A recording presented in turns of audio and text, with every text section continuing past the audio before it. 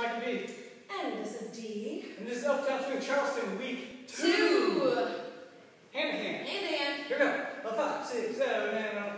Start with the basic.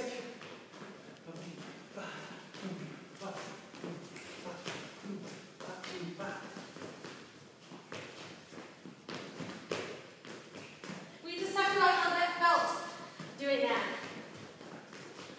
Leaders can go into their down.